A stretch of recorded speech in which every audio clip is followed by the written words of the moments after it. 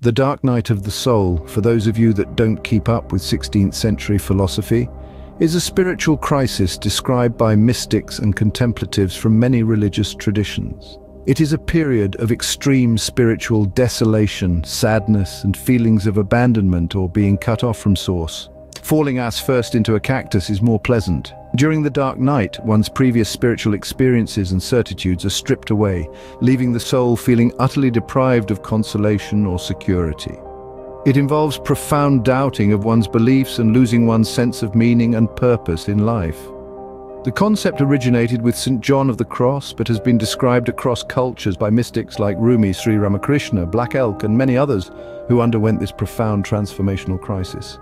Whilst on my spiritual journey, I underwent an experience mystics call the dark night of the soul, a profoundly disorienting crisis where my core beliefs and worldviews were challenged to their foundations. This metaphorical wilderness felt like an abyss of hopelessness and disconnection from source and beloved spirit. There was no introductory brochure nor short video to watch prior, you just suddenly find yourself there. Okay, fine, now what?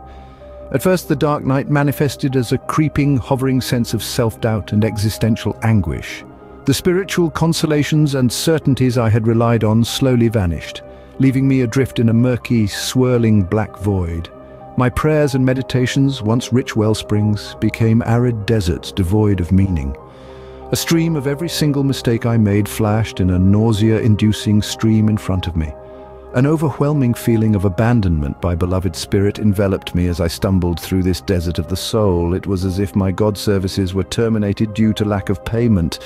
Oh shit is putting it mildly, very mildly. I went mad, hating and loathing my body, my voice and my thoughts, muttering and sometimes shouting curses at the air and avoiding taking meals, thinking it cursed to damnation as much as myself.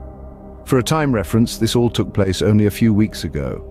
A peculiar after effect is that sometimes now I have to set reminders to feed myself. I'm fine with that. I was somewhat acquainted with the words of St. John of the Cross. The soul treads this night in a state of terrible abandonment.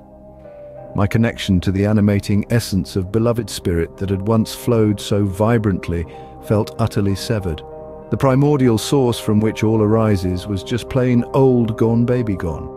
Me being ex-military and have seen and done things, I don't scare easy. This scared me so good my grey hairs turned back brown. I could have sworn Ma'at's feather of truth was there, but no Anubis. Uh, so this is not my funeral I'm walking towards. Oh yes, the hell it was. This concludes part one.